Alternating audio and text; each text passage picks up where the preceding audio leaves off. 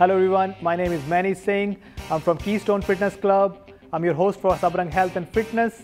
Each week we are going to bring you health, fitness and nutrition tips. Stay tuned and keep watching.